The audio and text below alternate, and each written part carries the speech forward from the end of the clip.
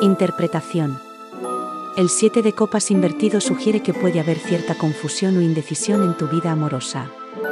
Puede haber muchas opciones disponibles, pero es posible que te resulte difícil elegir el camino correcto. También puede haber algún engaño o ilusión en juego. Es importante ser honesto contigo mismo y con tu pareja, o posibles parejas, sobre tus sentimientos y expectativas.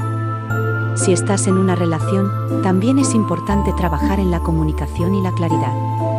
Si estás buscando una relación, es posible que desees tomarte el tiempo para reflexionar sobre lo que quieres y necesitas en un compañero. Consejos de acción.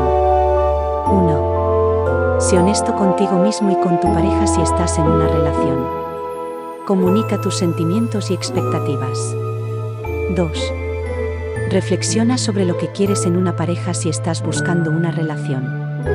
Asegúrate de que tus acciones estén en línea con tus deseos y necesidades.